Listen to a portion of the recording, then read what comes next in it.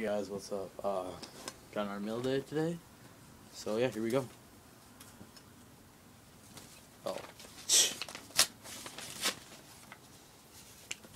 And it is, oh, uh, Fran McCaffrey, uh, business card autograph.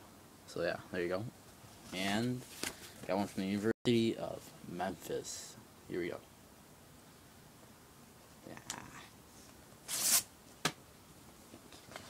And it is John or Josh Pastner right there. There you go, Josh Pastner, uh, University of Memphis, and then head coach of Iowa, Fran McCaffrey. So there you go. See ya.